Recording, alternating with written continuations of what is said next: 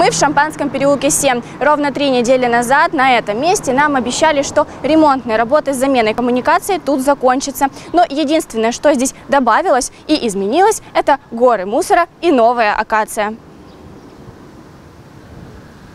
Разрытые коммуникации в замороженном состоянии находятся с марта месяца. По словам местных жителей, единственные работы, которые здесь проходили, это установление ограждений, которые могут развалиться в любую минуту, но никак не обещанная замена коммуникаций.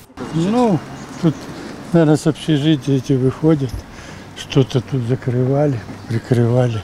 А А рабочие не приезжали. не видел. Ну, последние месяцы я никого не видела. Даже не месяц, мне кажется, полгода. Я как-то все время по этой дороге хожу, поэтому никаких сдвигов. Ничего, вот это как разрыли, кто его Ну, знает когда еще. И стоит это все ужасно. Долго. Не делают ничего. Уже деревья выросли. Уже деревья начали расти. Уже несколько лет эта вся история непонятна. И ничего не делают. Нет, нет, это уже второй год как минимум. Как мы выяснили три недели назад, ремонтные работы не находятся на балансе города. За это отвечает Политехнический университет. Проректор Одесского политехнического университета заверил нас в прошлый раз, что договор с новой фирмой, которая возьмется за работу, уже подписан. В планах было закончить до середины августа, но до конца лета считанные дни. Результата не видно. Ну и немножечко разобравшись, мы смотрим, что э, тут э, вообще идет перекидка друг на друга. Знаете, уже не найдешь, кто крайний.